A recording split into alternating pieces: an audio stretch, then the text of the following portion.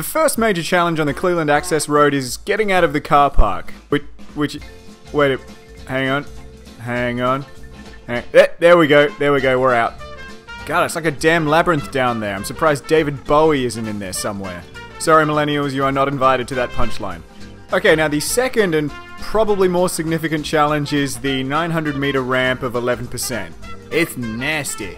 And you can break it up into the three major 15% kicks, of which this is one of them. After that, you're going to settle back into the 10 to 12% gradient range for a little while. It's pretty consistent on this road. The gradient is quite unpleasant, it's really the only thing that ruins what is an otherwise beautiful road. And here is kicker number two. Hello. After that, it starts to get just a little bit easier. The gradient drops down a little bit around to the 10% mark. It goes down to maybe about 8 for a short time. And you're thinking, hey, sweet, this isn't so bad. And then, bam, kicker number 3. But never fear, there's just a little bit more to go. The gradient drops off a bit, and you see this little cutout on the right means you are done.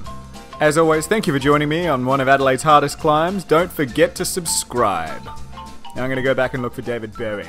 God, Labyrinth was weird.